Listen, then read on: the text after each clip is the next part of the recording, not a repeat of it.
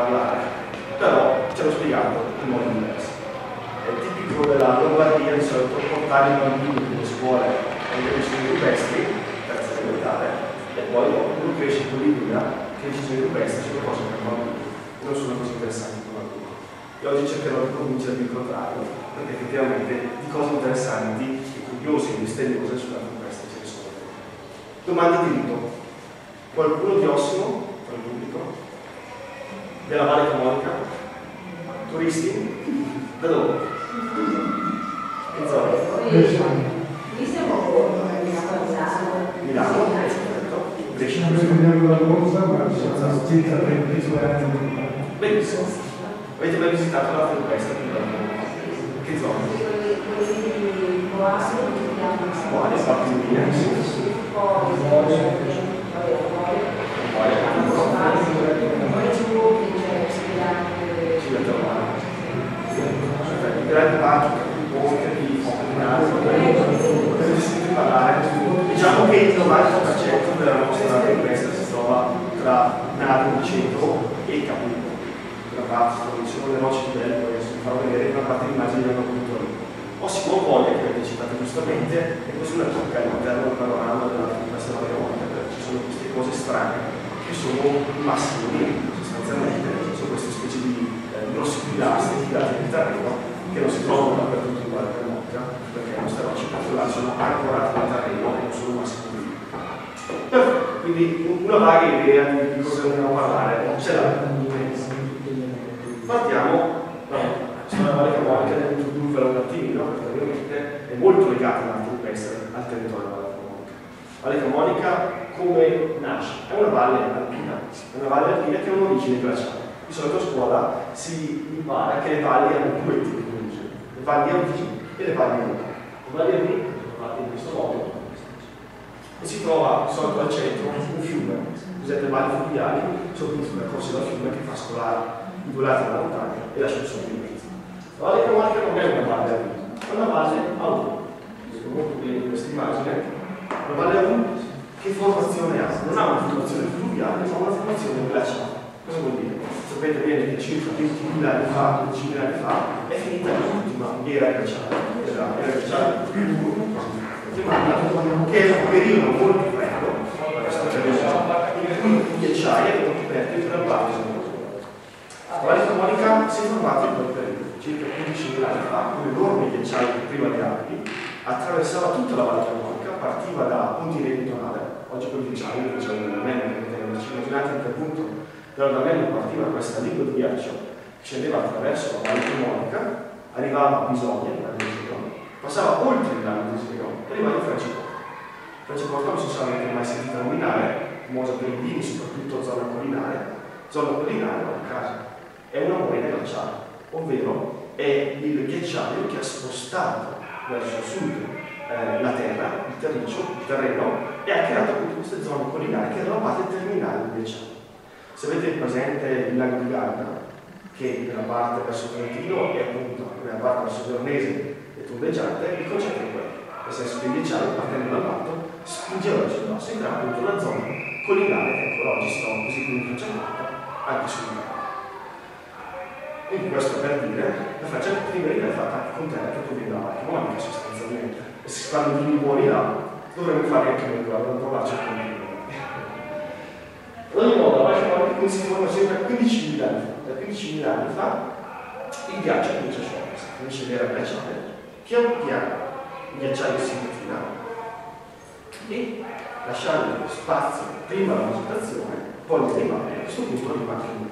È un processo lento, un processo graduale. In quel periodo siamo nel cosiddetto mesolitico, che vuol dire una tecnica per indicare il periodo della, eh, della pietra media, intermedia fra la pietra antica e la pietra nuova, è un periodo in cui l'uomo non è ancora un uomo sedentario, è un uomo che è ancora seminote, quindi si sposta da un'abitazione, da una villaggio, in Valle Camonica comincia a entrare in questa modalità.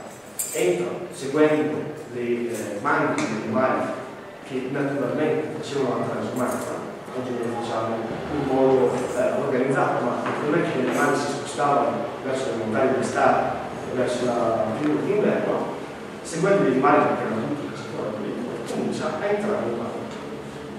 Una cosa importante, noi stiamo parlando di un uomo scimmio. 15.000 anni fa siamo già all'interno della fase dell'uomo chiamata Homo sapiens. Quindi erano persone uguali a noi. Quando ci immaginiamo l'arte equestre, i disegni sulle rocce che poco a vedere, non dobbiamo immaginarci persone differenti, erano proprio uguali a noi. Era semplicemente questo. Non erano australopitechi, si sono due milioni di anni fa, non erano Homo habilis né Homo erectus. Di Neanderthal è stato in parte anche contemporaneo all'uomo sapiens sapiens, come siamo noi, ma la verità, questi erano tutti uomini sapiens sapiens, erano mai già estinti anche. La storia del mondo è una storia lunghissima, io vi ho messo alcune date per darvi un po' il termine di paragone, se l'uomo sapiens sapiens, come siamo noi quasi 200.000 anni fa, beh, pensate che la Terra, l'universo si è formato oltre 13 miliardi di anni fa. Ed è curioso pensare che fino a metà 800, prima dell'arrivo della teoria evoluzionistica di Charles Darwin, si pensava che il mondo avesse circa attorno ai 5.000-6.000 anni, non di più. Quindi un periodo veramente breve, che oggi noi più o meno lo leghiamo alle antiche civiltà mesopotamiche, beh, una volta si pensava che Dio avesse creato l'universo nel 5199 avanti Cristo. Oggi invece si crede in l'universo molto molto più antico. Dove abitavano queste persone quando venivano in qualche modo? Beh, come ho detto prima, erano seminomadi, dobbiamo immaginarci le tende fatte così, tende che si smontavano, si smontavano, ovviamente seguivano gli animali, quindi abbiamo bisogno di essere anche molto flessibili. Quando si esauriva il nutrimento in un certo posto, si smontava la terra, ci si spostava 20-30 km, si smontava il campo, si mangiava tutto quello che si trovava, dalle vacche, alle bici, ai frutti, agli animali. Quando si era esaurito, si è fatto tavola rasa, si smontava, ci si spostava. Si andava così. Un metodo abbastanza distruttivo, che però è tipico della razza umana, non è che si eh, curava molto di queste cose, ovviamente, come tutti gli animali, l'importante era nutrirsi. A un certo punto però della storia c'è una rivoluzione epocale, che è la rivoluzione neolitica. Cosa accade? L'uomo smette di essere eh, un uomo nomade, che si muove continuamente appunto per cercare il suo nutrimento, ma produce il suo nutrimento dove ha. Quindi smette di buttare un capannino come un piccolo, quello dell'idea in America, e comincia invece a costruire case che si fondano su terra. Per quale motivo cambia il suo metodo di vita? Beh, perché cambia il suo metodo di alimentazione. Scopre l'agricoltura. Ovviamente, se voi avete mai visto un orto o avete mai curato un orto, sapete che seminate, seminate il seme, quando comincia a crescere la pianta, potete lasciarla crescere da sola, andare via sei mesi e poi ritornare e sperare di avere cultura cresciuta lui. Bisogna curarla, bisogna cambiarla, bisogna stare attenti che gli uccelli non vanno a mangiare i semi, questo obbliga l'uomo a diventare da nomade a sedentario. Forza, non si poteva quindi costruisce una casa e casa costruisce il suo ufficio. Assieme all'agricoltura scopre anche l'allevamento, ovviamente, dei primi animali che sono stati allevati, quindi animali selvatici che hanno cominciato a coabitare con, con l'essere umano, si parte dal cane e poi tutta una serie di animali che hanno subito anche delle trasformazioni talmente grosse che oggi questi animali in natura non riuscirebbero neanche a sopravvivere. Pensate un po' alle mucche, alle vacche. Sono talmente in simbiosi con l'uomo che devono essere munti ogni giorno, e se oggi voi aprite le stalle per uscire le mucche e fate andare il sole nella savana, dopo tre giorni muoiono. Sono talmente in simbiosi con noi che sono ormai inadatte a sopravvivere al nostro Abbiamo adattato determinati tipi di specie appunto alle nostre esigenze e oggi sono talmente unite a noi che non esiste neppure più la versione originale, che sarebbe realtà il bufalo sostanzialmente. Così come tante altre specie vengono allevate. Perché i cani abbiamo detto che vengono poi cuccioli di lupo allevati e selezionati nel corso del tempo.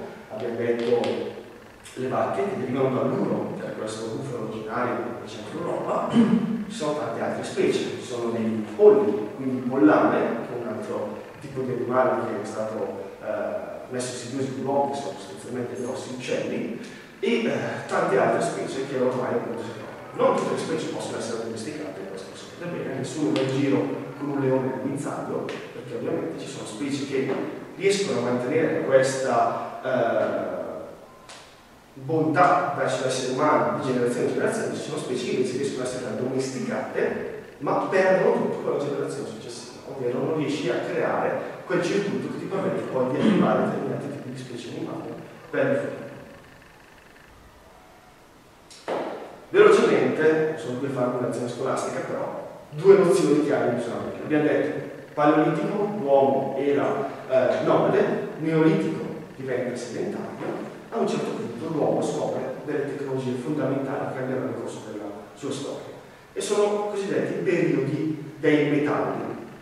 Cosa sono i metalli? Sono determinati tipi di pietre che lavorate appunto creano e sono si può creare degli strumenti che non si possono creare semplicemente scolpendo la pietra. Il primo materiale il primo metallo che viene scoperto l'uomo è il rame.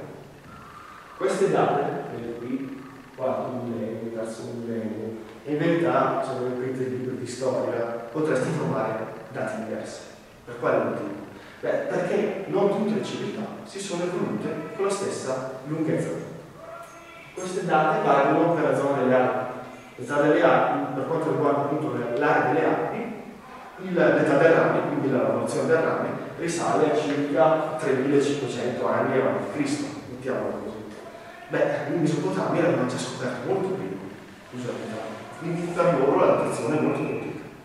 Se invece pensiamo agli aborigini australiani, beh, nel 1800 d.C. non erano neanche arrivati a d'Italia, perché sono rimasti fermi pescatori agricoltori come se vivessero nel paleolitico. Quindi ecco, bisogna sempre avere chiaro quando si parla di età riferito appunto a una tecnologia bisogna anche avere idea di quale civiltà si parla, perché in base ai cambi di civiltà ci sono cronologie diverse. Se velocemente appunto il primo materiale scoperto e lavorato dall'uomo è rame. Quindi abbiamo fatto la polenta una volta, abbiamo detto che siamo qui dalla Lombardia, eh, il pagliolo di rame è fondamentale per la cucina. L'età del bronzo, che è successiva al bronzo, non è un materiale che si trova in natura, ma è una lega, vuol dire, è un insieme di due metalli diversi, che sono appunto il rame e lo strato. È eh, leggermente più fragile del rame, ma è più resistente del rame. Quindi è diciamo, una, eh, una lega che permette di costruire, ad armi più affilate e armi più resistenti rispetto a quelle fatte. Infine, del ferro, che qui per la Valle Carmonica sarà una rivoluzione epocale. La Valle Carmonica è una valle ricca di miniere di ferro, soprattutto sul versante oromico della Valle Camonica e infatti vedremo che gran parte dell'arte rupestre della Valle Camonica risale appunto in quest'epoca perché probabilmente in quest'epoca i commerci hanno permesso alla civiltà della Valle Camonica di guadagnare abbastanza da permettersi di pagare persone appositamente per fare il lavoro in città. Quando finiscono queste età dei metalli, beh, sostanzialmente si fanno finire con l'età I romani, non sono argomento di oggi, ma della prossima lezione, eh, in età romana il Valle Camonica inizia nel 16 a.C. Quindi pensate veramente periodo lontanissimo, quando la pianura padana era romanizzata dal 1200. Megalitismo è un discorso molto interessante quello dei megaliti, abbiamo accennato brevemente prima quando parlavamo appunto di eh, ossi mongoli, che alla fine rientra in questo contesto. Megalitismo cosa vuol dire? Megalitos, grande pietra. Sono queste grosse strutture in pietra che sono diffuse in tutta Europa, soprattutto a partire dall'età rame, che abbiamo detto essere il primo metallo, quella più antica che abbiamo visto nella nostra archeologia. Abbiamo sentito magari di nomi strani che compaiono spesso eh, anche in televisione, sulle riviste, non so, come Cromlech, come Cairn, come Donne, come Menhir, che differenza c'è tra uno e l'altro?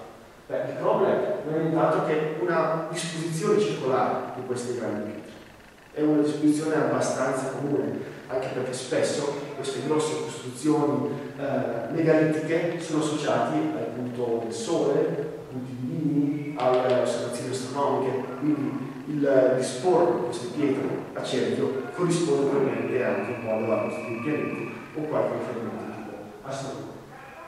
I Cairn sono dei cumuli di pietre secche, nulla di particolare, può fare un muretto di pietre secche, di pietre secche senza nessuna collante in mezzo senza cemento, mettere uno sopra l'altro e fare una, una piccola colonnetta. Sono costruzioni comuni, molto antiche anche queste. Oggi, ad esempio, rimane nella tradizione di chi viene montare costruire piccoli ometti che si trovano in due sentieri di alta volta, in verità è un retaggio culturale che risale anche alla Cristo.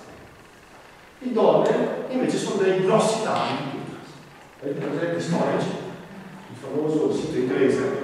Questo è un doppio, ovvero un tavolo con due pietre verticali e una, una pietra grossa. I membri invece sono le gambe del tavolo, mettiamolo in questo modo. È un tavolo senza la copertura, sono i grossi speroni che sorgono da terra e quello ci sono dalla comunità. Sono questi piccoli massi membri, sono così chiamati, perché appunto emergono dal terreno ma non c'è nulla sotto, non sono dei tavoli sui corpi.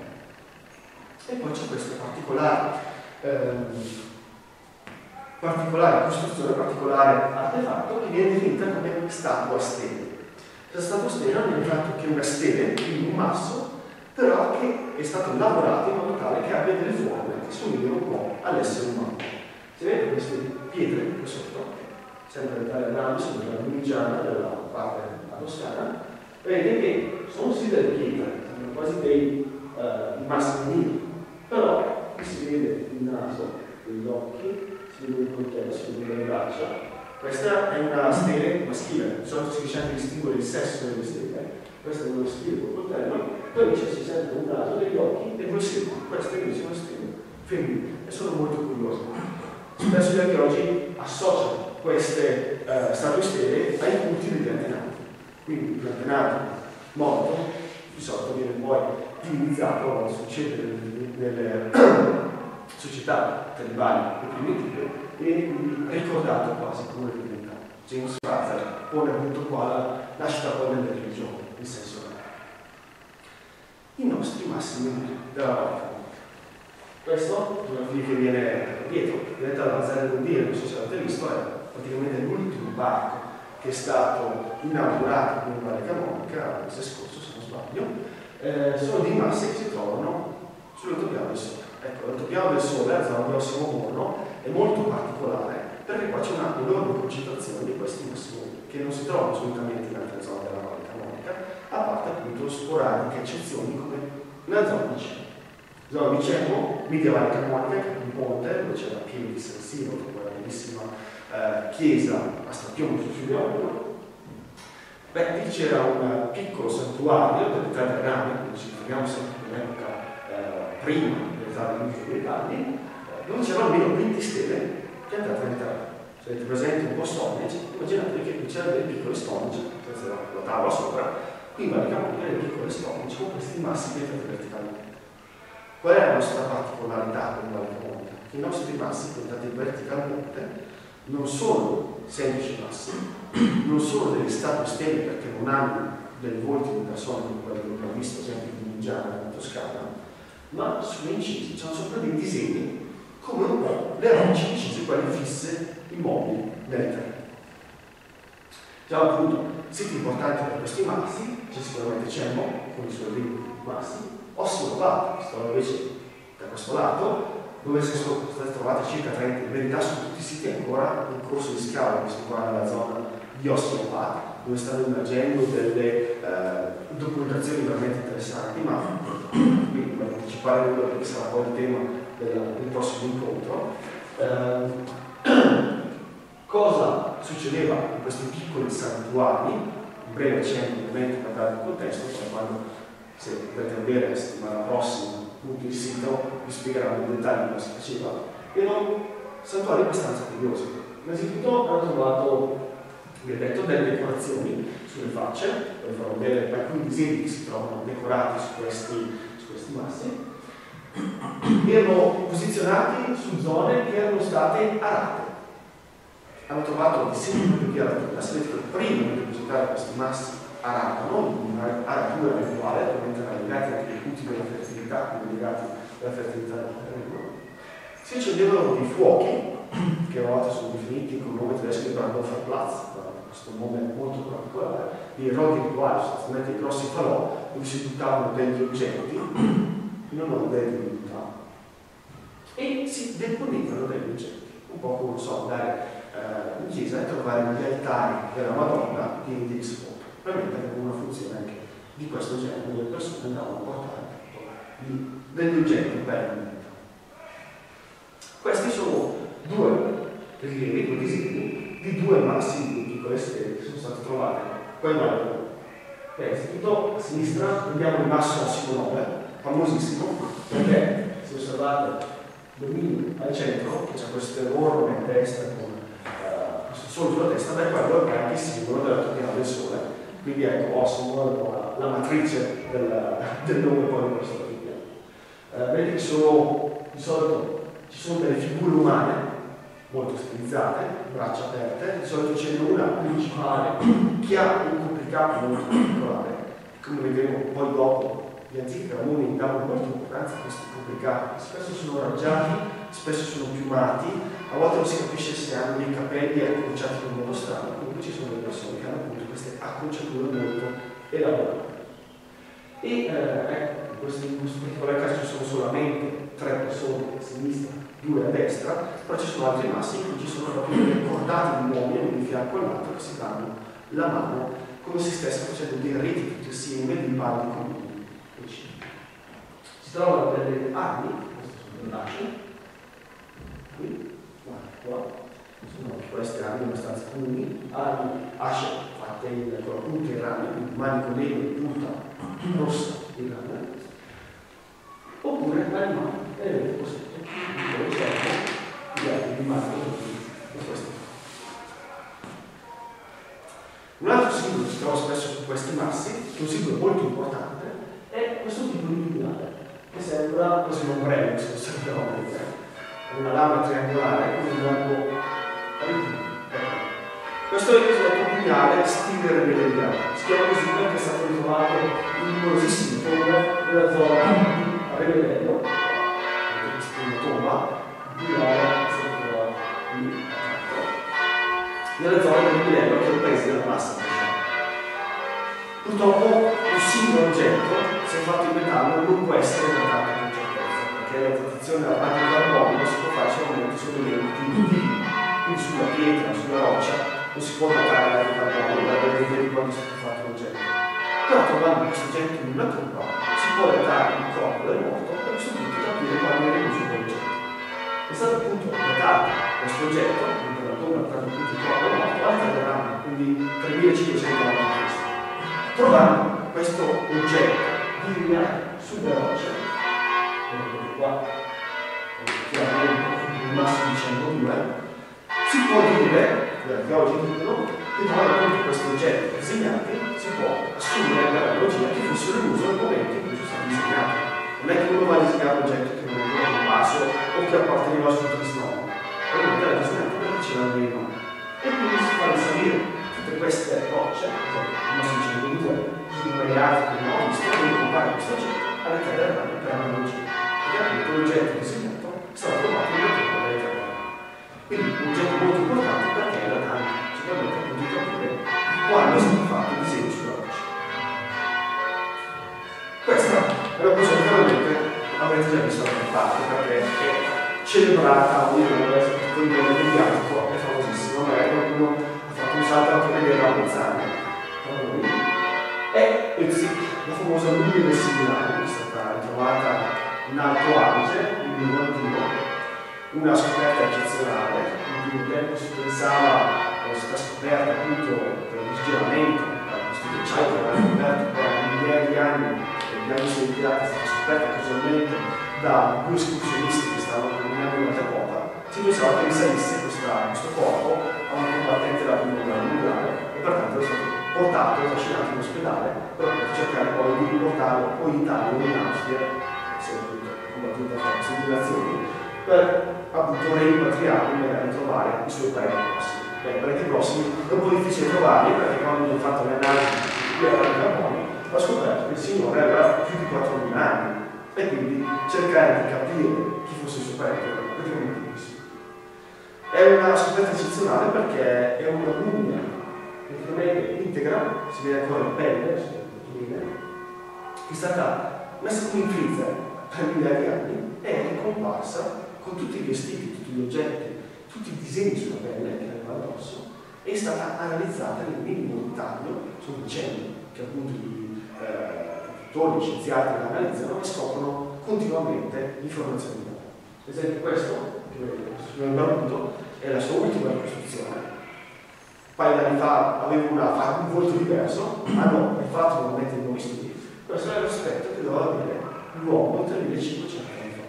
L'uomo che faceva i disegni che abbiamo visto prima, l'uomo che andava a fare i culti a ossi montati. Pertanto, come vedete, non c'aveva la coda, quindi era esattamente come lui. Eh, analizzando il corpo, analizzando il sentiero, abbiamo scoperto informazioni veramente interessanti. Innanzitutto hanno scoperto quanto era alto, non era altissimo, era 1,60 probabilmente in piccolo. Pesava circa 50 kg, ben proporzionato. Aveva gli occhi marroni, pensate, sono usciti fino a il colore, aveva gli occhi. È morto più o meno 45 anni. Come è morto? Non lo si sa Per essere morto in alta terra, sicuramente stava probabilmente cercando di passare in barco per l'Italia dell'Austria, o scendere nella zona austriaca. Eh, hanno trovato sul suo corpo una ferita di freccia e hanno probabilmente dato la colpa a una, probabilmente una diatriba che aveva avuto questo uomo eh, con altri membri della, della, sua compagnia, è stato colpito con una freccia e probabilmente è morto dissanguato e eh, di freddo durante la notte in, in alta quota e quindi il corpo è stato coperto da neve e dai freccia ed è rimasto inalterato. Abbiamo scoperto addosso tutta una serie di oggettistiche molto interessanti, dalle armi, dall'arco, dal, da una specie di marsupino, dal profilo di rizoma che addosso, quindi sappiamo esattamente come si vestivano queste persone. Aveva anche un piccolo colbacco di, di pelle d'orso, quindi dettagli veramente interessanti che prima si immaginavano solamente o si intuivano associando l'uomo preistorico a civiltà primitive come esistenti oggi. Per esempio, prendo l'esempio gli eschimesi, vedete come si vestivano loro, si intuivono la loro storia come essere in questo modo. E in effetti molte similarità ci stanno. Ho scoperto che cosa aveva mangiato. Il suo ultimo pasto è stata una piccola poppetta di, di faro, carne due, quindi una, piccola zuppa. Ma la cosa forse più curiosa è il fatto che mi ha scoperto addosso più di 50 tatuaggi. In verità il tatuaggio non è una, un'esperienza, una, una moda moderna, è una cosa che già si faceva più di 5.000 anni fa. La cosa curiosa è appunto il numero enorme di questi tatuaggi e la forma di questi tatuaggi. Sono in gran parte linee e croci in corrispondenza di punti dell'agricoltura, cioè in zone strategiche del corpo, sui gomiti, sugli angoli, dietro la schiena, sulla colonna vertebrale. Eh, questo fatto ha portato archeologi a pensare che probabilmente non erano tatuaggi fatti per essere visti per mostrare gli nemici, ma sicuramente dovevano essere tatuaggi fatti a scopo terapeutico. Lui ovviamente andava dal dottore e il dottore diceva guarda se vuoi farti passare questo mal di schiena ti faccio dei tatuaggi e andiamo me. Tatuaggi, sapete, si fanno con, oggi con delle siringhe che iniettano l'inchiostro sotto pelle, come faceva a farsi i tatuaggi i nostri orzi 5.000 anni fa, beh, come fanno oggi le tribù dell'Africa centrale, si fanno dei tagli, ci mettono sopra della carbonella, aspettano che la ferita si rimangi imprigionando la carbonella sotto pelle, in modo che rimanga un po' il disegno. Velocemente entriamo nell'età del ferro. Mi hanno detto essere la più importante per la Val Camonica proprio perché noi abbiamo il di ferro, quindi la valle è stato il cru, elemento fondamentale. Questa era la popolazione che abitava nella zona alpina circa mille anni prima di Cristo. E quali erano? Beh, torniamo su tutti i comuni, questa zona gialla, zona culturale più o meno omogenea, non c'erano comuni, reti e verde, vuol dire due parole su tutti i programmi un'idea un po' chiara che fossero queste civiltà, come potete vedere appunto i cavoli molto più simili a reti eventi, i Celti, che sono queste macchie retro, sono invece una popolazione che eh, centro Europa, zona della Svizzera, dell'alta Austria, e poi sono entrati piano piano in Italia e si sono suddivisi in tutta una serie di piccole popolazioni, eh, Monte, Sarassi, Insubri, Cenoni in particolare, che stanno nella zona Lombardia, Insubri, al di là dell'altra zona milanese, e Cenomani, dalla parte bresciana. Due parole veloci, appunto i reti stavano nella zona del Trentino Alto Adige, eh, sono popolazione abbastanza stabile, non, non particolarmente bellicosa, molto radicata sul terreno, è andato molto fastidio, ad esempio, i romani quando cercavano di passare in Brennero per andare in Austria, sono stati anche loro sottomessi come i comuni attorno al 16 a.C. Eh, con i comuni hanno molto in comune, soprattutto nel tipo di abitazioni. Di tipo retico, che sono queste case fatte con grossi piloni, grossi piloni di pietra, si trovano ancora sempre, ad esempio, non so, in Austria, in Svizzera, queste grosse case con eh, le, le, murature in legno, cioè del block bow, uh, si trovano molto spesso, con tetti, si vedono qui, che non avevano coperture laterizio, quindi non c'erano tegole, ma erano le pietre piatte, quelle che noi in dialetto chiamiamo le piede o i crocchi, la farina, le resi, la bergamasca, il concetto di quello. E erano fatti con un piano, vedete sotto, un piano seminterrato che entrava nel terreno. Seminterrato perché di solito erano case costruite sulla costa delle montagne, ovviamente si incassava il piano di base che era fatto in pietra e poi si reggeva all'esterno il piano i Veneti, altra popolazione limitrofa, eh, erano una popolazione diversa da tutte quelle circostanti, ovvero celtica, reti, sull'altro, con una propria identità molto particolare, abitano nell'odierno Veneto, che è il nome di questa popolazione. Una popolazione anche questa abbastanza pacata, non molto bellicosa, anzi ehm, divenne subito, durante la conquista romana, si andò subito con i romani preoccupati contro i celti, certi casi molto più, più ostili verso la cultura romana, e eh, diciamo una civiltà che si amava molto bene, che aveva una sua identità. Gli Etruschi, che invece si trovavano in centro Italia e che sono molto importanti per la storia della Valle Camonica perché dagli Etruschi vengono imparato a scrivere. Gli antichi comuni hanno imparato la loro scrittura proprio dalla scrittura etrusca. Vedete una piccola scritta nell'alfabeto comune che sta sulle basi etrusche. Si legge da destra verso sinistra. Quindi questo è un dettaglio importante. Gli antichi comuni disegnavano sulla roccia, non perché non sapevano scrivere, non perché facevano ideogrammi come i cinesi. Scrivevano sulla roccia perché volevano disegnare. E se volevano scrivere, scrivevano perché sapevano scrivere. Abbiamo oltre 260 iscrizioni sulla nostra roccia, quindi è una lingua utilizzata sicuramente, poi chissà quanti altri documenti non abbiamo iscrizioni su pietra, su, su pietra ci sono rimaste ma su legno, su tavolette, su cera, beh, purtroppo sono tutti pronti. Civiltà molto importante, molto famosa, sono i Celti o i Gatti, secondo i romani. Molto importante dire che Celti e Camuni non sono parenti, sono due nazioni differenti.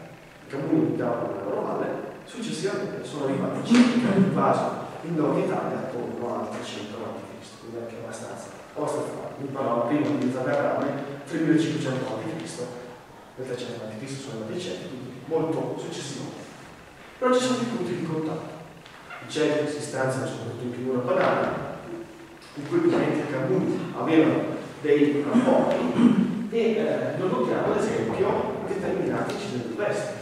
Questo è di vesti che stava di ponte, che rappresenta il cosiddetto dio Carmunos, che è una divinità mezzo uomo, mezzo cielo, infatti c'è il corpo sulla testa, e questo è il calderone di Cristo, si trova in Danimarca, con eh, lo stesso divinità, avete molto bene, con divinità celtica, con delle cose sulla testa. Sembra praticamente la stessa divinità. Questo fa una serie di archeologi che sicuramente c'erano contatti fra le due civiltà e spesso contatti religiosi. I canoni, chi sono? questa civiltà misteriosa? Beh, si può parlare di Camuni sicuramente a partire dall'età del ferro. Prima non abbiamo esattamente idea di che popolazione fosse. Purtroppo, per quante tracce abbiamo di arte questa volta, abbiamo pochissimi reperti materiali della nostra civiltà. Quindi non sappiamo come vivevano, in che villaggi vivevano, eh, quanti erano, che tipo di costruzioni facevano, perché non c'era questo praticamente Abbiamo tutti i loro disegni sulla roccia, quelli sono rimasti perché sono stati, rimasti, sono stati fatti lì sulla roccia, inamovibili, ma tutto quello che ci stava attorno, che ci poteva far capire come vivevano queste persone, non ci è rimasto.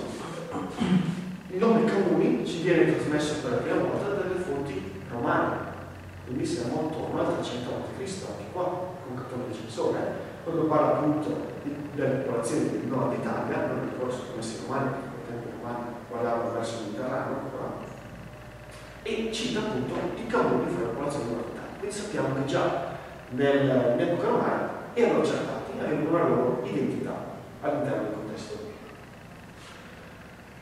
Probabilmente Camuni era un nome che si veniva dato non solamente all'area camonica, ma anche all'area della Valle E quello è il motivo, perché ci sono molte similarità tra la Camonica e la Valle In particolare su questi massimi che ovviamente ci sono qua a Borgo e Ossimo, ma si trovano anche teli, Valtellina molto simili, Quindi probabilmente anche qui c'è uno scambio tra le varie vallate intervallivo molto interessante. E lo stesso alfabeto comune, che oggi è chiamato alfabeto comune, in origine è chiamato alfabeto di soldi, perché la prima iscrizione è stata trovata sempre. Però poi la, il maggior numero di iscrizioni è stato trovato in Valle Camonica ed è quindi lo stesso alfabeto. Quindi probabilmente c'erano veramente degli stati, era probabilmente stessa, lo stesso tipo di comunità all'interno di, questi due vallate. Come ha detto, poi queste eh, popolazioni saranno poi sottomesse in Roma nel 16 a.C. Questo della prossima. Parliamo poi così delle scoperte in Valle Camonica. Quando è stata scoperta l'arte ovest? Non abbiamo approfondito, perché in verità la storia dell'arte ovest è molto bene, molto recente. Solamente nel 1909 vengono segnate, segnalate per la prima volta in studio queste varie disegni che rimangono sulla roccia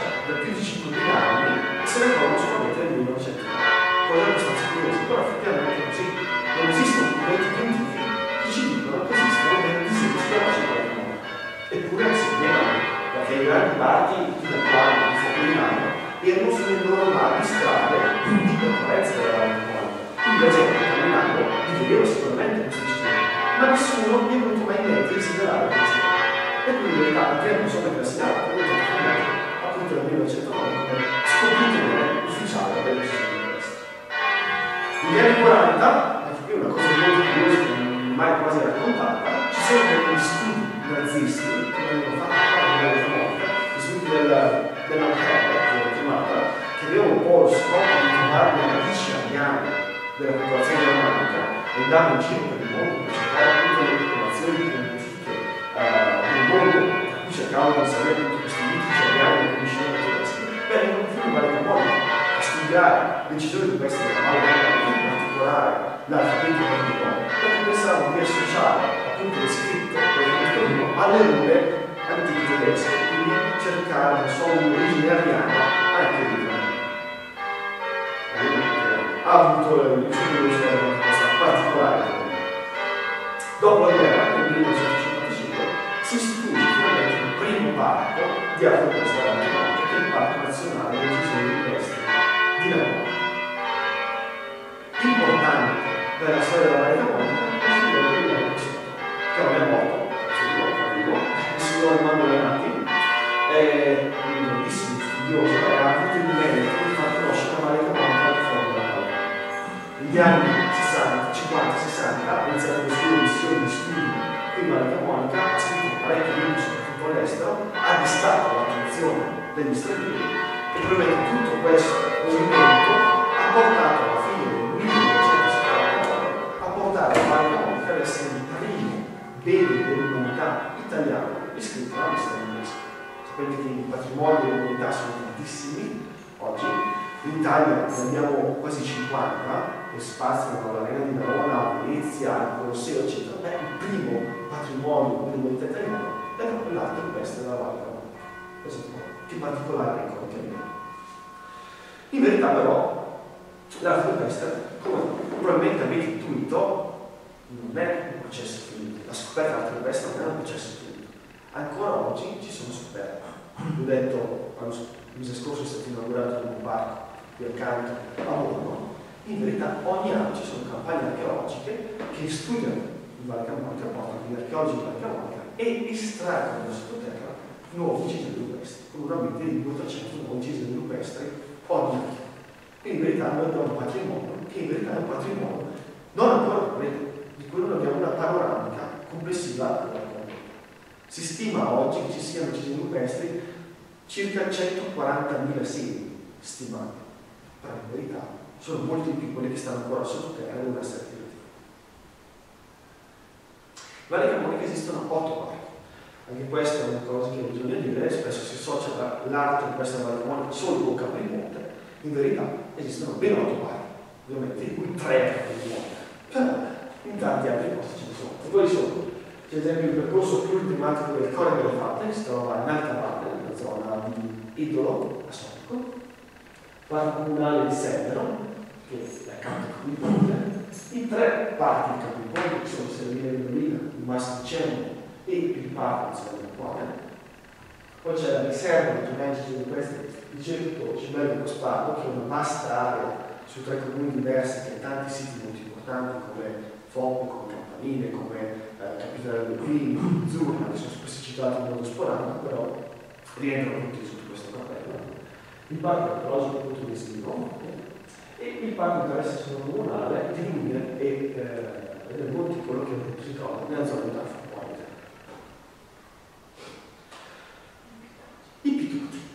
È il nome con cui in Valle Camonica ci si riferisce all'arte rupestre. Cosa vuol dire pituto? Beh, pituto vuol dire pupazzetto sostanzialmente, è un, proprio un diminutivo, è quasi uno spregiativo verso questo enorme patrimonio che ho detto essere uno dei patrimoni dell'umanità. Sia di Valle Camonica, questo concetto non è in quanto Probabilmente ha dei retaggi culturali anche questo fatto di cercare di sminuire questi disegni fatti sulla roccia di vari molto Cosa sono le incisioni di questa valle economica? Beh, non sono nient'altro che dei bassolimiti fatti sulla roccia. Come vengono fatti questi disegni? In due modi principalmente. O utilizzando un sasso e picchiando sulla roccia, quindi creando tanti piccoli buchini, si vede molto bene. Questa la tecnica cosiddetta martellina, che si martellina sulla roccia, oppure facendo dei graffiti, in cui si prende un sasso a punta e si graffia letteralmente la roccia facendo disegni molto sottili e sono molto più difficili da vedere rispetto appunto i disegni martellini.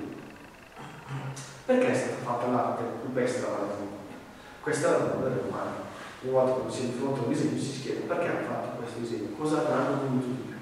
Beh, questo è il problema di base dell'arte rupestre alla Romana. È il problema inspiegato ancora dell'arte rupestre alla Romana. Dobbiamo pensare, come ho detto prima, disegni che sono iniziati più di 5.000 anni prima di Cristo, sono proseguiti nel corso dei secoli, hanno avuto un certo stop durante l'epoca romana, sono ripresi leggermente dopo l'epoca medievale e sono ritornati nell'oblio con qualche sporadico ritorno nell'epoca successiva. Quindi in verità abbiamo una eh, distanza cronologica di 7-8 mila anni, in cui ovviamente il significato cambia, perché le persone che disegniamo sulle rocce cambiano e disegnano per motivi diversi. Quindi ogni incisione deve essere presa da sola, analizzata nel suo contesto e si cerca ogni volta di capire da che cosa possa essere associata. Queste sono le tipiche rocce della Valle Camonica dove si trovano incisioni queste. Questa è dalla colina qua e ci fa capire che sono molto diverse rispetto ai massi che abbiamo visto prima. Non sono dei massi esportati dal terreno e piantati da qualche parte, no, qua è una roccia proprio una vera emergente del terreno che non si conclude con la parte visitabile di stesso valle a livello della strada, volendo si può scavare e continuare sotto chissà quante cose c'è, chissà quante altre decisioni ci sono quelli che aspettano di essere scoperti. L'altro questo è fatto su queste enormi rocce, che sono così particolari perché sono state eh, litigate dall'azienda glaciale. Oggi avete tutti presenti le pietre che si trovano vicino ai ruscelli, vicino ai fiumi, che sono moltissime. Il concetto è questo. Immaginate il grosso ghiacciaio di cui parlavamo prima, dell'epoca del ghiacciaio che si scioglie, crea delle enormi montagne d'acqua che passano continuamente sulla roccia fino a lisciare. Non tutte le rocce si lisciano facilmente, l'arenale comunque ha un lago che le bomba, assume questo effetto molto particolare. Si trova soprattutto appunto nella parte centrale della Valle Camonica, la zona di Campo di Ponte, zona di Nado, zona di Cimbello, dove appunto c'è anche la maggior parte dei cibi rupestri. Quindi a caso sono perché c'è questa lavagna naturale fantastica dove disegnare è proprio piacere. Quali sono i problemi dell'arte rupestre? Beh, io ho detto prima, l'adattazione. Bisogna essere fortunati. Ad esempio, trovare il disegno, che abbiamo visto, del pugnale di Remedello ci permette di risalire le terre Ma quando si trova il disegno di un cielo. Qua facile sapere a quale epoca risale il cielo. Può essere di 6.000 anni fa, o può essere l'altro di E infatti questi sono dei problemi aperti che portano di anni in anni gli archeologi a confrontarsi con diversi tipi di teorie per cercare di calibrare un po' l'idea più corretta per riuscire a dare meglio una, una, un disegno. Non è una teoria ancora conclusa, ci sono tante teorie diverse. La teoria che andava per la maggiore era quella dello stile, ovvero si immaginava, come per le rivoluzioni umane dell'Ottocento, che si partisse da una base primitiva, quindi da uno stile di disegno molto elementare, e si arrivasse a disegnare in modo molto elaborato. Questo è una cosa di 5-6 anni. Poi in verità gli studi recenti ho scoperto che nell'età terrale, ad esempio, si disegnava meglio che nell'età di bronzo e quindi non tornava più questa cronologia di evoluzione del disegno. Quindi quelli più antichi disegnano meglio di quelli più moderni. E allora questo ha sconvolto un po' le, le carte quindi adesso sono molto più caldi nelle notazioni di vari mesi. Le interpretazioni, quando c'è, non c'è. Quando guardo questo, che cosa vedo? Vedo un animale con un neanche dietro. Chissà cosa immaginava la persona che si metteva a disegnare quelle cose. E quindi anche qui cercare di entrare nella mente del disegnatore, capire quali stavano i miti, le credenze alla base di queste persone per cercare di interpretare quello che è andato a disegnare. La comprensibilità stessa dei disegni si sta disegnando sulla roccia, quindi già non si sta disegnando un dipinto con un pennello e quindi già molto più complesso. Si sta facendo un passo indietro. Bisogna cercare di dare un'idea prospettica quando in verità si sta lavorando sulla superficie piatta. Dopo che trovo vedere il disegno di un carro e è una cosa che se ci pensiamo è una sconvolgente. Perché noi sappiamo questo, che un carro trainato per due cavalli se così c'entrano tutti che un carro trainato da due cavalli. Ma capiamoci bene come era disegnato. Ci sono due cavalli, profilo, giusto? Il carro, visto dall'alto, e le ruote spiazzate, spalmate. Eh, noi ce l'abbiamo un carro perché elementi ci sono tutti. Però non è un carro naturale, non è un carro che noi vediamo in prospettiva, è un carro che è stato trasformato per rendercelo comprensibile. Perché se avessi disegnato un carro in prospettiva sulla roccia, non l'avremmo capito, avremmo visto forse un cavallo, che l'altro gli stava dietro in prospettiva, e uno scatolone rettangolare. Questo era molto chiaro all'uomo che ha inciso quel carro, che mi la faccia capire che stava incidendo un carro. E quindi ha messo tutti gli elementi che hanno servito per ricostruirci po' questa immagine di realtà. Quindi questo in realtà quale lavoro sta dietro, anche al, buon primitivo, che a questo punto chissà quanto è primitivo, perché sta facendo un'analisi più psicologica per capire cosa vede la persona che verrà dopo di me e riuscirà a capire quello che sto dicendo. Per cercare di trasmetterci un messaggio. Vi farò adesso vedere una veloce carrellata di una serie di disegni rupestri che, che abbiamo nella Camonica divisi per tempo. Quando voi vi capiterà andare a vedere i disegni rupestri, sicuramente questi elementi sono ricorrenti, li potete trovare spesso. Innanzitutto appunto tra gli animali il cavallo. Questa è una bellissima immagine di un cavallo con una persona in piedi sopra il cavallo, in una posizione abbastanza eroica, con le braccia verso l'alto, una specie di colellino su, dei piccoli petri a graffito, come se avesse un vestito molto particolare. Spesso è associato questo disegno, questa gisione, a una rete di iniziazione, quindi a uno di quei riti che servivano ai ragazzi per passare dall'età infantile all'età adulta, che è una specie di prova che vengono spesso fatte in culture primitive. Questa invece è una gisione di cavallo, vestiti completamente diversi, uno riempito e colorato anche all'interno di piccoli petti, questi invece sono dei temi di intorno, che però ci fa vedere un cavallo cavalcato da un cavaliere, ma di fronte al cavaliere uno scudiero che tiene le briglie del cavallo. Questo è spesso utilizzato, questo disegno, per eh, descrivere la società che c'è in Valle Monica come una società aristocratica, in cui c'erano sicuramente dei signori che andavano a cavallo e c'erano anche delle persone che erano signori, ma naturalmente seri, che dovevano appunto fare appaggi ai signori Altri animali si trovano spesso nella zona centrale medievale sono gli uccelli. Gli uccelli sono in due tipologie distinte.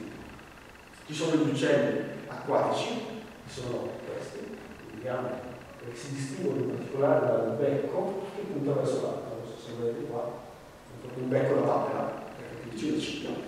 E ci sono invece gli uccelli finiti rapaci o polli, che sono invece quelli che hanno il becco che ha verso basso. Ci sono molti uccelli disegnati sulle rocce marchiamone, ci sono quelli molto molto belli, può essere per esempio, che un leone, che si nota molto bene, che vicino a uh, campanile, cimbello, la cimbello, ce ne sono molti altri che hanno dei ciuffi sulla testa, qui c'è proprio una particolare descrizione di questi animali. In alcuni casi sono animali inventati, perché non esistono animali di genere, altri casi sono talmente vaghi che non si riesce a riconoscere la specie, e alcuni sono così precisi che si riesce perfino a che tipo di uccello. Altro animale? Il cervo. Cervo si va dal parco del quale vedete appena i cervi, perché lì c'è una concentrazione enorme. Ecco, un altro dettaglio importante è sapere che non tutti i parchi della Monica hanno gli stessi contenuti incisivi. Ad esempio, a qua vedrete tantissimi cervi, a Campanile troverete so, moltissime capanne, Foppe di Nada troverete tantissimi prodotti di piene, ci sono delle tematiche che sembrano quasi venissero seguite dall'open stock, quindi in certi posti si fanno determinati tipi di incisione e non si fanno determinati tipi di altri incisioni. Alla quale dicevamo tanti cervi. Questi che vedete sono dei cervi molto belli che si trovano sull'altra sponda rispetto alla quale, nella zona di Sardegna e Dolina, e sono dei cervi con delle corna a lappa molto filosi, molto vecchie. Questo qua invece è un cervo che deriva dai massi di cervo che abbiamo visto prima, delle tagliarate, ed è diverso solamente perché nello stemma del parto della mente, queste corna molto, molto alte, molto è un cervo che ha 5.000 anni per capirci. Esseri umani. Gli umani vengono rappresentati in varie azioni della loro esistenza. Sono ad esempio i combattimenti, che vediamo molto bene qua, due persone che si scontrano in duelli sono commissimi, solito si scontrano con degli scudi ecco qui, e delle, delle spade, due qua, due qua. Queste si possono dare il filo degli sulla testa, quindi si scontrano dei guerrieri. Poi invece abbiamo il pugilatore. Questo facciamo un incontro di box, vede molto bene, sparando due pugni in faccia l'un l'altro faccio notare la curiosità dell'emo con queste particolari creste che vanno all'inizio. I copricapi infatti sono una cosa molto eh, decorativa per quanto riguarda il camuno e l'arte rupestre. Infatti ci mettono spesso uno zampino per fare più diversi per, per curarli, perché alla fine, se notate, sono pratiche figure piene, qui è difficile anche disegnare degli abiti per distinguerli L'unica cosa su cui si può intervenire per distinguere un disegno da un altro è forse probabilmente solamente il copricapo che è un elemento ulteriore oltre delle armi. Questo molto famoso, è il cosiddetto sacerdote che corre, interpretato come sacerdote, però notare la bellezza della dinamica di questa figura, una gamba tesa in corsa e l'altra piegata sul retro, ma soprattutto anche qua il copricapo piumato spinto indietro dal vento, che è proprio l'idea della corsa se faremo un giorno o l'altro in piedi in Valle Camonia, questo sicuramente era eh, il giro destra che diventerà l'emblema della notte. Questi invece sono i famosi astronauti, che ultimamente stanno tornando anche in trasmissione televisiva di mistero, sono stati citati paio di volte, e eh, sono legati appunto a questi racconti fantasiosi di un'origine aliena che gli antichi caoni, eh, sono chiamati astronauti ovviamente perché hanno questo particolare complicato, mi sembra quasi un casco da cosmonauta, con questi raggi tutti attorno. Anche qui gli archeologi sono indecisi se sono in verità due combattenti, quindi che stanno duellando con un piccolo scudo e una piccola spadina, un piccolo oppure sono in verità due figure che stanno facendo musica e stanno tamburellando su degli strumenti. I lavori sono rappresentati anche dei lavori esclusivi di questi. Questo, vedete qua, è un favo non so se riuscite a vedere la posizione, si vede un uomo con una mano che tiene una barra, una barra di ferro, e con l'altra un martello e sta picchiando sugli impugni. Molto bello questo. Questa invece è una scena di arte.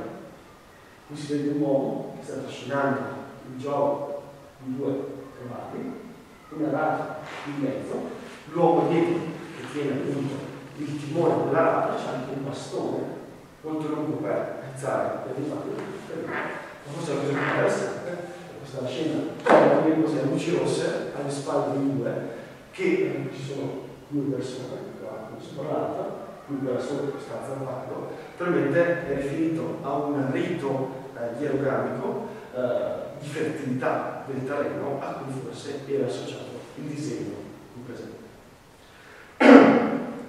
altra figura molto comune sono i capanne.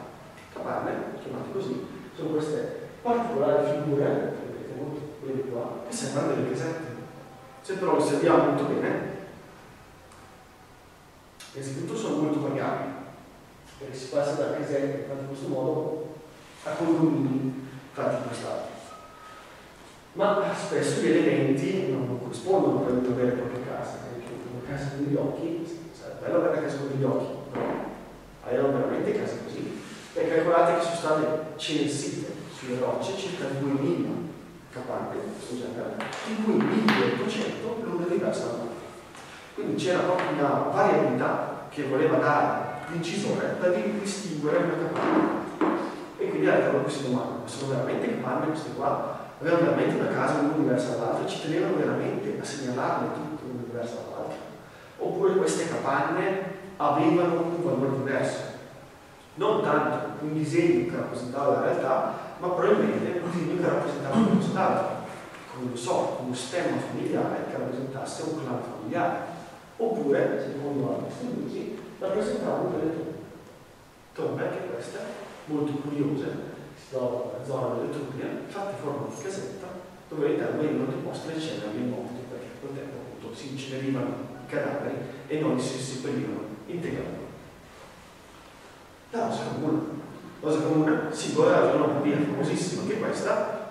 Noi guardiamo la bandiera della zona Lombardia, ho sentito dire che alcuni credono che sia un rubinetto quello che sta nella parte centrale, non è un rubinetto, ma in verità questo segno, che viene dalle rocce della Valle Campania, in particolare da questa, si trova una fonte di nano, è una figura quadriglobata, la rosa comune è così composta da quattro eh, lobi, qua, e da nove palloni.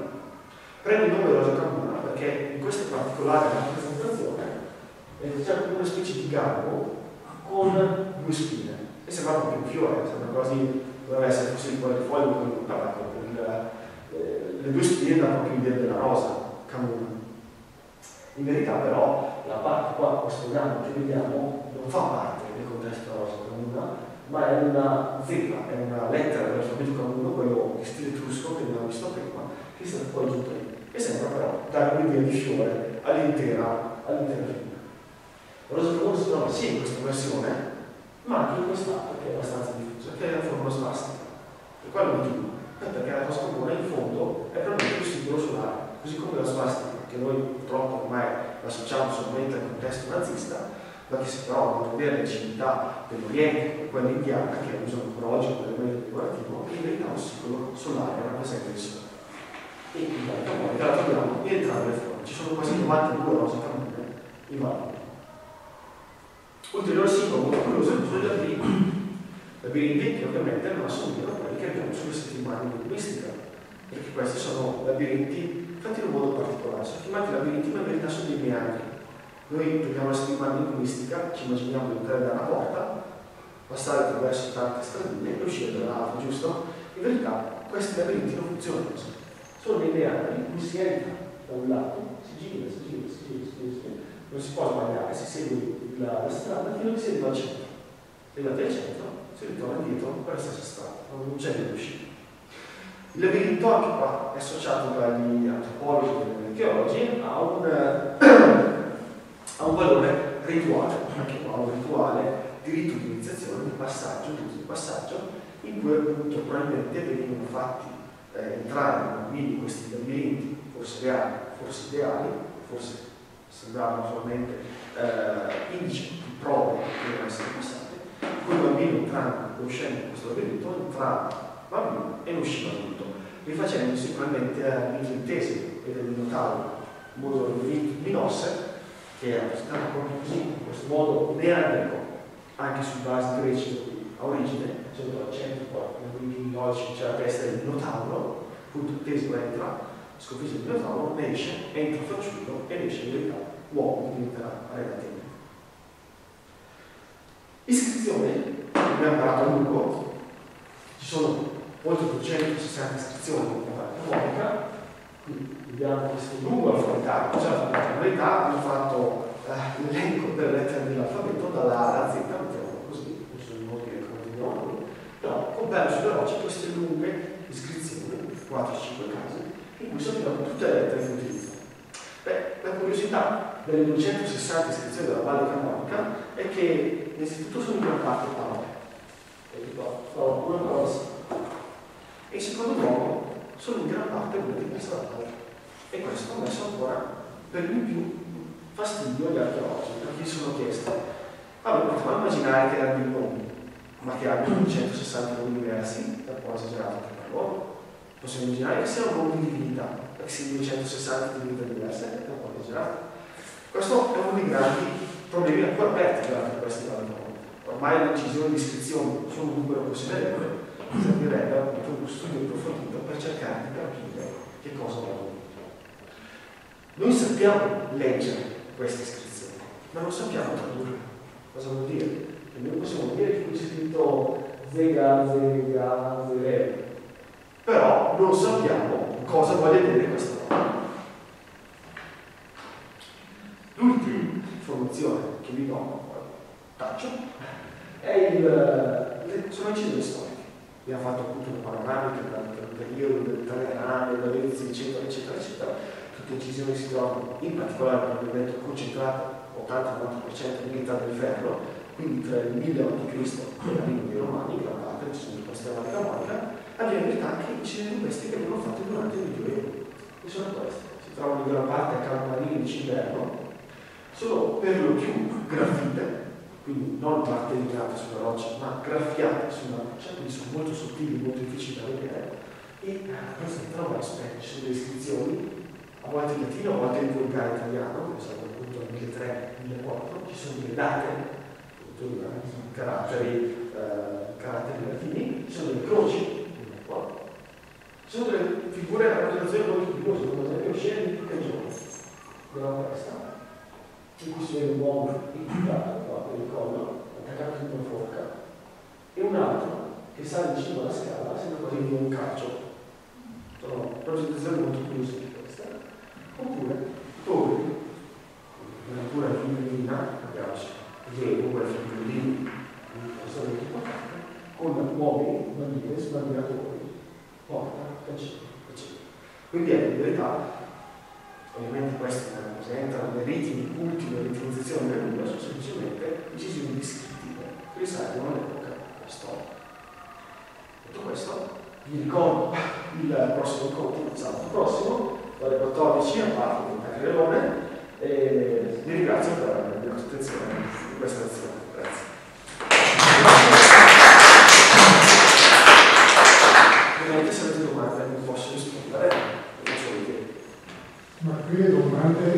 Domande sarebbero all'infinito, perché qualche cosa ho letto di queste cose e ci sono tantissime, perché poi sono le domande che ricorrete anche voi di fondo.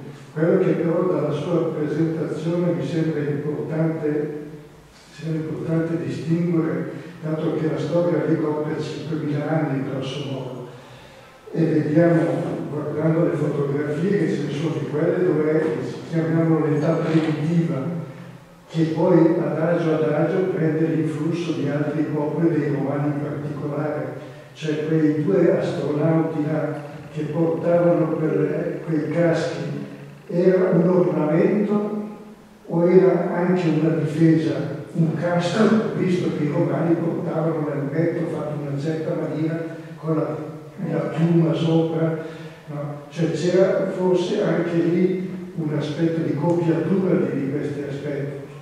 Tanto è vero che negli ultimi anni poi introducono le lettere assieme ai graffiti o alle strutture che ci sono. Ecco, l'importante è vedere come si evolve in questa storia, perché paragonare questi uomini corpulenti con quelli che abbiamo visto all'inizio, che erano stilizzati, sono due mondi completamente diversi, qualche migliaio d'anni. No? E ci sono tanti, ricordo leggendo Emanuele Nati, che uno dei simboli che allora si parlo di vent'anni fa era il simbolo della paletta, chiamava lui, è stato interpretato per esempio il simbolo della paletta? Allora, guardiamo degli astronauti, sono diverse questioni, ne analizzo velocemente, cercando di essere il più pertinente possibile. Astronauti, ovviamente, non corrispondono all'epoca in cui abbiamo visto le prime immagini, vedete da questi sono dati molto recenti, praticamente nell'epoca etrusca, come chiamata, siamo intorno al 500 a.C quei caschi spesso sono stati interpretati come elmi. Purtroppo è stato trovato l'elmo corrispondente in sito, quindi non abbiamo un elmo che assomiglia proprio a quello. Sono stati trovati degli elmi simili, ad esempio gli elmi etruschi, se vedete la solita nel museo toscana, spesso li trovate, sono fatti così. Hanno anche questi speroni laterali che si vedono molto bene, però finiscono sotto punta, non finiscono a carola. E questa è già una caratteristica abbastanza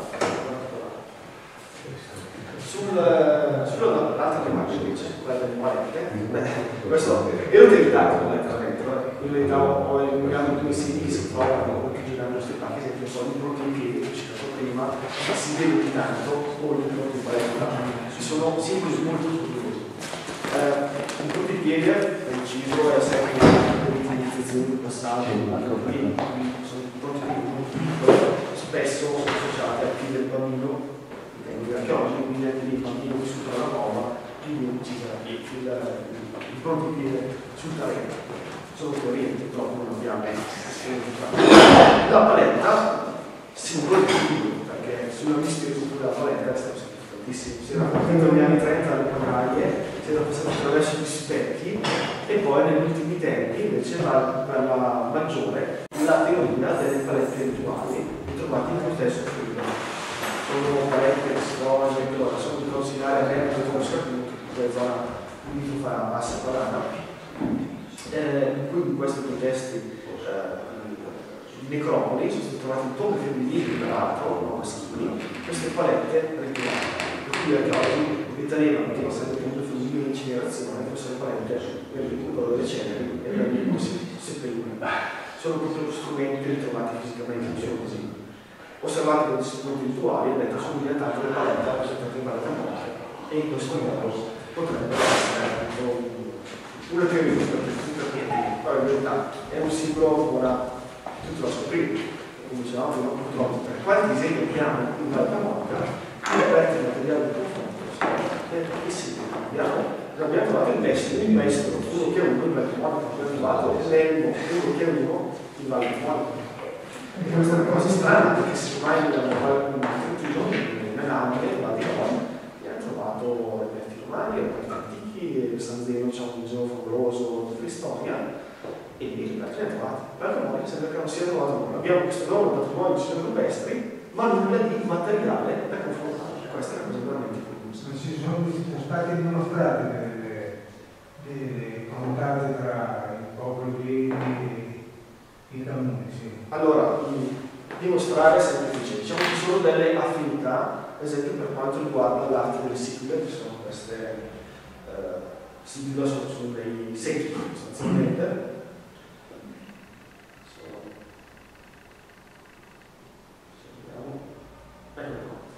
Queste sigle sono grossi secchi, a volte sono secchi uso funebre, sono spesso decorate sui dati esterni con tutta una serie di motivi questi motivi trovano delle somiglianze con alcuni sensori per questa varia. Quindi gli archeologi spesso mettono a confronto le situe con l'altro rupestre e dicono probabilmente c'è un contatto. I romani, questo è interessante, i romani eh, associano l'origine dei comuni, in alcuni casi verso i reti, verso la zona altopolitica, altri verso i lugani, che sono invece una popolazione che era nella zona del, non di Colli Lugani, di Balua, erano più spostati verso Verona, eh, che comunque aveva finito Quindi in verità c'è qualcosa sotto, purtroppo non sono ancora teorie chiaramente espresse, perché si tutto sul fatto che qui in Valle Camonica non abbiamo confronto materiale. Ho sempre confrontato con quello disegnato. Non vuol dire che quello disegnato sia quello che arrivano effettivamente sotto mano, non c'è una dimostrazione certa e sicura perché poi loro avevano anche, questa è una teoria che avevo detto, che avevano tante eh, comunicazioni, per esempio con i popoli germanici che scendevano verso l'Adriatico, quindi c'era uno scambio di minerali, di donne, anche perché qui la vita non era facile, ma c'era quindi un'evoluzione anche in quel senso. Che, eh, sì, allora c'è la teoria della via dell'acqua, che, che scende dalla dei paesi baltici, che l'Ambra si è estratta nella zona lituanica, quella zona lì, e poi scendeva, c'erano questi percorsi che sono accertati anche dagli archeologi, in epoca antica si partiva appunto dal nord Europa e si andava fino al Mediterraneo. Questa teoria però ha dei limiti, ad esempio, perché fa passare la via dell'anima attraverso la manica armonica, per un sito comuni fa scendere la via dell'anima. Eh, il problema della valle economica, e che è appunto in discussione anche in questi ultimi periodi, è la sua centralità di comunicazione. Chiaramente la valle economica è un territorio scomodo in passaggio. Eh, molto più semplice salire da Verona che salire l'Alge, attraversare il passo del Pendolo e scendere in Austria. Quella è una via normalissima che viene usata per linee di comunicazione. La valle economica era scomoda per entrarci e per uscirci, perché per entrarci bisognava arrivare sul lago di Silo attraversarlo, il lago, quindi con barche, non c'erano vie laterali lungo il corso del lago. La prima via transitabile, careggiabile, utile, è stata aperta dall'industria del 800. Prima si andava a si prendeva la barca, si sbarcava bisogno, si risaliva la Monica. Quindi la Valle Camonica in realtà era probabilmente un mercato chiuso, che per commerciare commerciava quello che veniva estratto all'interno, lo transitava fino a Iseo scambiava con l'area bresciana e poi riprendeva. Non era una via di passaggio, perché non era una via di passaggio semplice. Gli stessi poi veneziani, poi nelle prossime lezioni vedremo eh, un tipo di comunicazione tra, tra le Alpi, dove che è un posto effettivamente scomodo attraversato. Perché vedendo il nome della popolazione terrestre c'è anche un'altra popolazione pure chiamata Veneti in Normandia. Esatto. Allora mi chiedevo se questa via No, la via sono occupate, verso il Baltico. Poi ci sono le popolazioni venete, venetiche della, della, Normandia, che non so se sono anche loro del Ceppo Gallico, forse no, forse hanno un'origine diversa, ma comunque non sono neanche legate con i Veneti d'Italia, sono veneti per, per, per fatti loro, c'è nessuna... È, come i Sabini della Valsabbia che non c'entra nulla con i Sabini del Centro Italia, per capirci, no? sono più risonanze ormai poi la canonica è più molto duro per non fare. Sì, arriva. Mentre il Breno è direttamente per per il passaggio, sì, soprattutto come vedi il passaggio. Poi ecco, opere alpini sono abituati a fare i balli, l'ho visto, mio zio è morto perché stava nella montagna, quindi non è che la gente si spaventava per dover passare la montagna. Anzi, spesso era molto più spaventevole attraversare un fiume, perché il fiume senza ponte è impossibile, la montagna con difficoltà ce la puoi fare. Quindi spesso si trovano così dei mali divisi a metà, in cui ci sono fiumi grandi nel fondo valle, si trovano così due sonanze fra una costa della montagna e l'altra dall'altro lato, piuttosto che dall'altro lato della valle. E queste sono, sono differenze che, che sono geografiche, ma che poi vanno a influire sulla società civile. Una curiosità sulla via dell'Ambra. È Bellinzone in Svizzera, in uno dei tre castelli patrimonio UNESCO. C'è una bellissima mostra fotografica di un tedesco un annetto, due annetti fa, che ha ripercorso a piedi partendo da Venezia tutta la via dell'Ambra Se, se avete occasione di passare andate a darci un'occhiata molto molto carina. Bene, porteremo anche prossimo, sarà Una domanda, eh, visto l'invaso che dicevi, quindi non esiste una, chiamiamola stele di Rosetta non esiste un niente con etrusco e un'altra lingua da me conosciuta. Allora, fregatura dell'alfabeto capuno è che l'hanno imparato dagli etruschi, che già è una lingua non pienamente comprensibile, perché già l'etrusco non è pienamente tradotto con lingue moderne, è ancora misterioso in certe sue fasi. Quindi si aggiunge problema a problema, perché noi riusciamo a leggere appunto le parole semplicemente riconoscendo le lettere che utilizzate nella lingua etrusca. Sì. Però in verità i camburi aggiungono anche le lettere in più, perché ovviamente hanno dei suoni più culturali che l'etrusco toscano non c'aveva. E quindi ovviamente per aggiungere non so, la U delle nostre ballate per, per far capire però non so, il concetto era questo problema di interpretazione molto consistente. E, e poi la non regolarità della lingua, infatti trovassi solo parole non ti permette davvero una frase e quindi capire come funzionava la grammatica, non capire era un verbo, non capire cosa è un soggetto e questo ti, ti pone problemi anche nell'interpretazione delle parole.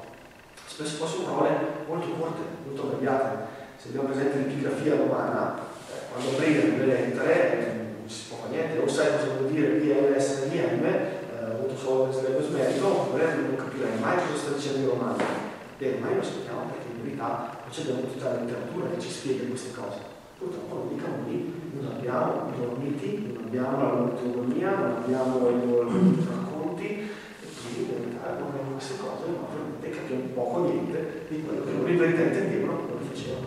Magari loro disegnavano un cavallo, ma intendevano so il cavallo dalla divinità preferita, quindi vediamo un cavallo e abbiamo capito un cavallo, ci uno, perché ci manca appunto la chiave di lettura di queste cose, che magari appunto emergerà, come abbiamo visto, di cose per scoprire modo che ce ne sono accorto.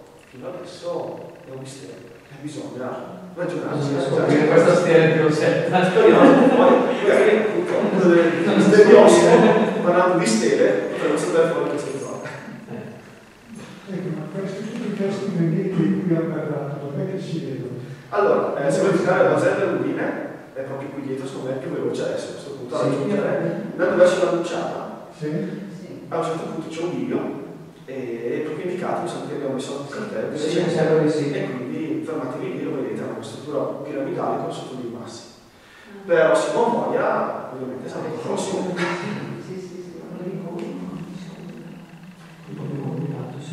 Quello di Bono dove? Quindi buono questo qua, E questo qua, è dove sono annunciato.